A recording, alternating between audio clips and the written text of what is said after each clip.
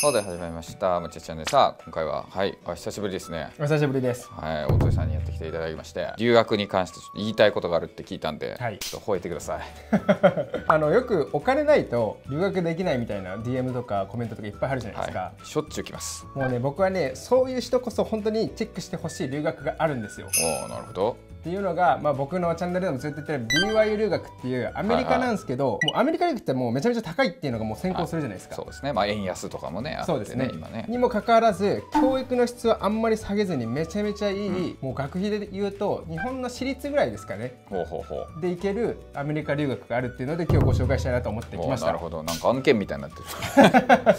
なんでこれを思ったかと言いますと、は以前にですね受験版のタイガーファンディングであ受験生版はいはいありますね。はい。でハワイの方にはい。留学をしたいって言った時に、ふうみんさんかな、うん。がなんか全力で貯めたいみたいなおおそうだったんですね。はい。会があったんですよ、はいはい。であれ実はですねあの元をたどると BY ハワイっていう留学先なんですけど、うん。ボロクソその会では言われたんですよ。えー、あそうなんですね。夢もないとか、はい。その方は確か女の子で、うん。実業家みたいになりたいではいはすみたいなところ言われてて、うん。そんなこう考え上全然ダメだみたいので,、うん。でコメント見ても、まあ、考えがなさすぎるみたいなこと言われてたんですけど、まあ、留学を知ってる人からしたらですね、まあ、結構逆に風味さんもそうですしそこに座ってる言ってしまえばこう塾のことをはいはい。ずっと経営されてる方がいっぱい座ってるじゃないですか、もうなんか言ってしまえば日本の学歴至上主義みたいなはいはい人たちが座ってたんでいやいやちょっと海外のこと知らなすぎじゃないですかっていうのを今日お話ししたいなね。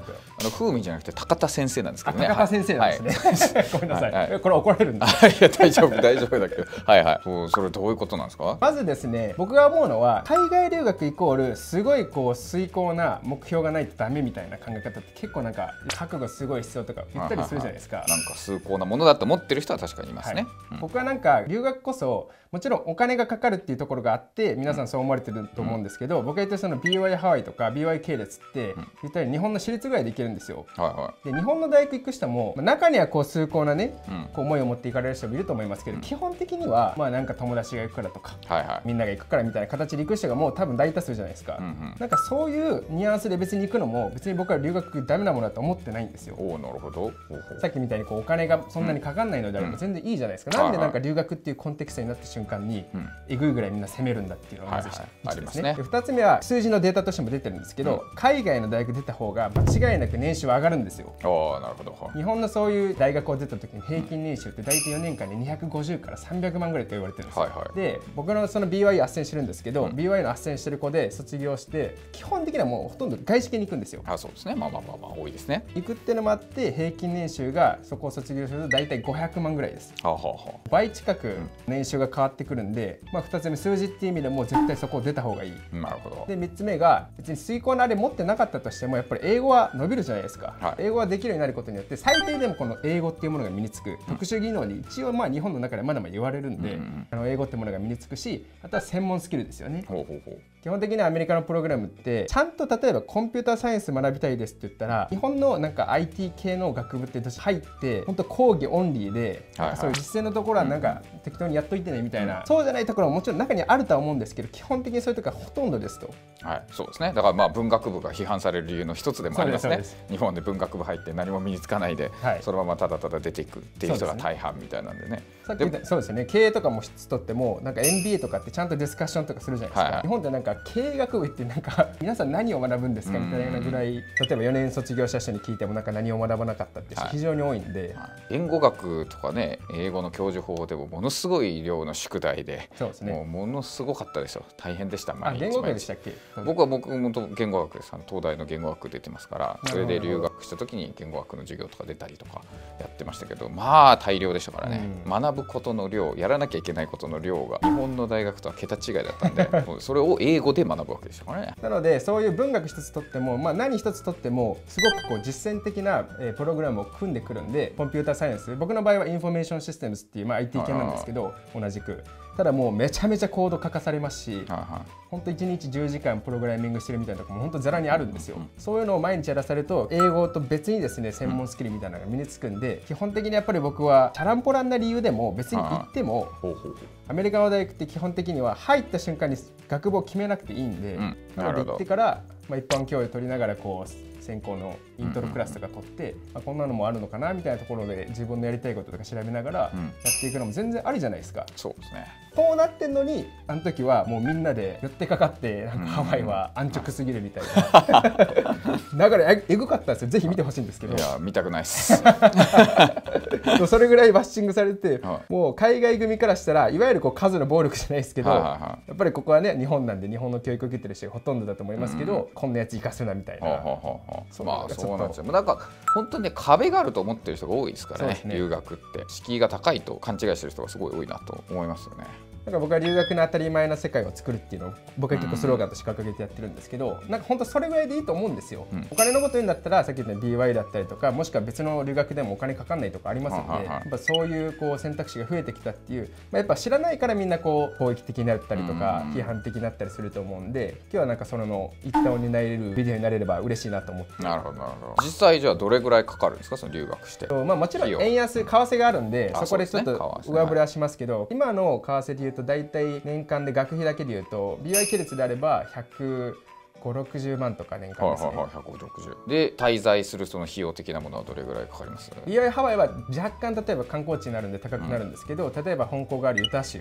うん。ユタ州って多分皆さんもうソルトレイクの冬季オリンピックぐらいしか知らないと思いますけど。はいそれすら知らないと思います。それすら知らないですよね、は多分。ってなった時に、えーユタ州ってめちゃめちゃ田舎なんですよ。はい。でアメリカって基本的になんかこうニューヨークとかカリフォルニアとか、うん。都市部に行くとめちゃめちゃ高いじゃないですか。はい。なので高いっていうなんかこうもうメディアの刷り込みが結構されてますけど、ユタ州ってなれば東京よりも行かないぐらいですね。ああなるほど。多種。ケントデリカットしか知らない。そうですね。あの、世代で言うとそうですよね。僕の世代でも知らない。もっと前です。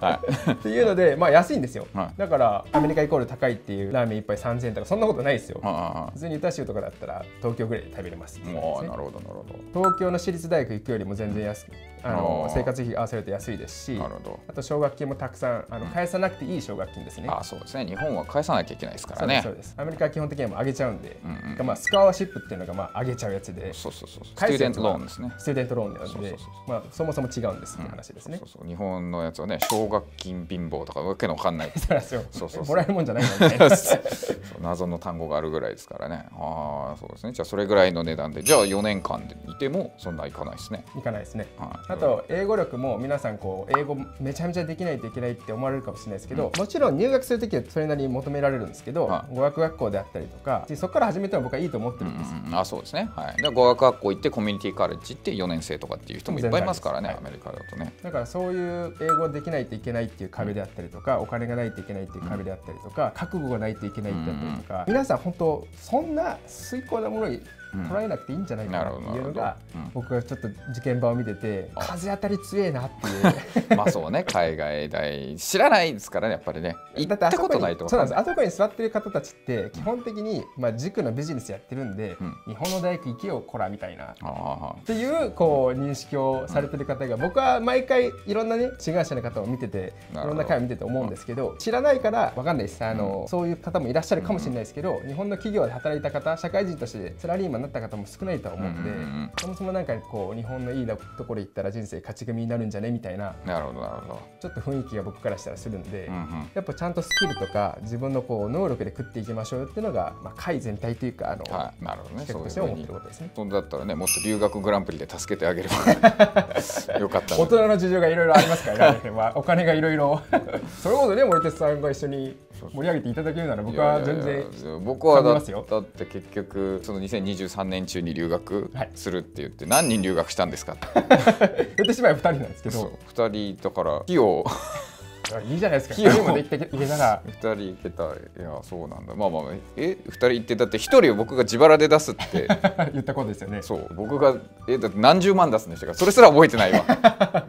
ぜひ留学グランプリ続きやりましょうよ。まあできたら僕あの気持ちとしては僕いつでもレディーなんでもう僕も日本にずっといるんで、ね。集まんのかな。まあちょっといろいろはい。はい24年いろいろやってきますんで、はい。まあいろいろできるかもしれませんので。いや彼女はやりましょう。よ 何言ってるんですか。僕が言ったじゃないですか。いつでもレディーですって。そうそういつでもレディーです。みんな女性だと思っちゃうかもしれない。いつでもレディーいつでも準備万端なんで。はい、わかりました。じゃあ、そういうのでやって、ぜひね、まあ、日本の学歴中の皆さんも、はい、ちょっと、ね、海外にねも違う選択肢を、はい、見てもらえればいいんじゃないかなと思います。はい、小林さんに置いてきました。ありがとうございました。ありがとうございました